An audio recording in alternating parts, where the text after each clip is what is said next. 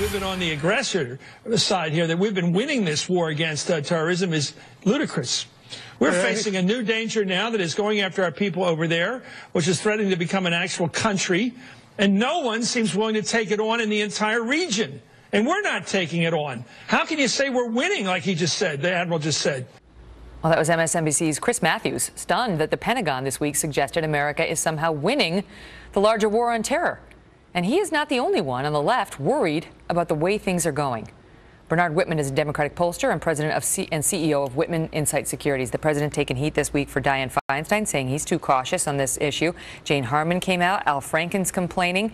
More and more, we're hearing growing chorus on the left saying he's not doing enough. Why? Well, I think the fact is America is facing its greatest foreign policy challenge in an awfully long time. The Democrats are in power and they are feeling heat. And the answer is we need a three-pronged approach. There is no question, I think, that Jane Harman is right.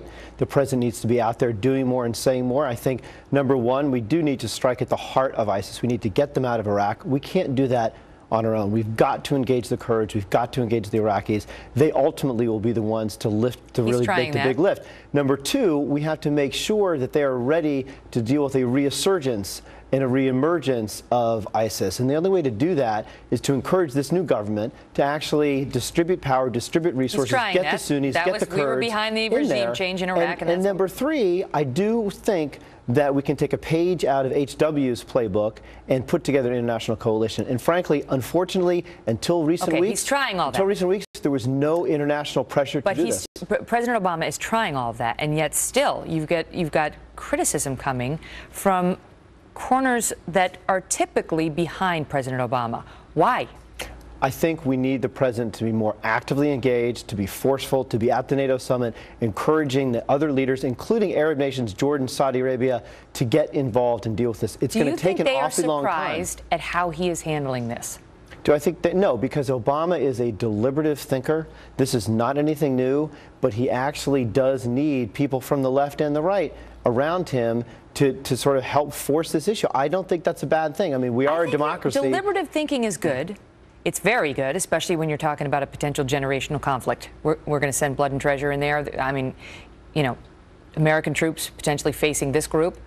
Uh, but you need to you need to make a call and you need to be on it. And when you have the president misrepresenting the start of this whole thing is when they captured Mosul, when five months prior to that they captured Fallujah, and he was calling them JV, people wonder whether he is getting it. Well, I think the fact is that our intelligence on the ground is getting better and better at assessing the threat here. Oh, it wasn't that long ago. Hold the on. wasn't that long ago? Knew. It wasn't that long ago that John McCain wanted to arm ISIS Forget to fight John Assad. McCain. Who's talking about John McCain? Look, he's a spokesman on the right for the for foreign policy. He wanted to arm ISIS to fight Assad.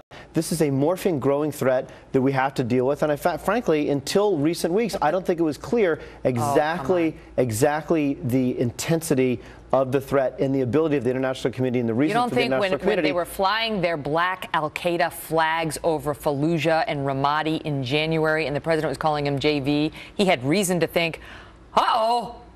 Look, I think that the intelligence on the ground obviously didn't pick up the extent yes, to which. it did. The intelligence, we just reported, Catherine Herridge just had this report yesterday. The intel was telling him, the intel community was telling him it's growing and you need to do something about it. But the fact it. is, do you think the Maliki government was going to be able to support that? And for A, well, and why, B, we and pushed B, him out people, last month. Why the, didn't we push him out the last American January? people have supported putting another 150,000 troops in Iraq? Absolutely not. It, and no one's frankly, proposing that. Frankly, when the troops were there, that's when ISIS fled out of Iraq into Syria, and that's why we're in the problem we're in today. Always good to see you, Bernard Whitman. Great to see you. We'll be right back. Coming up on Hannity as well.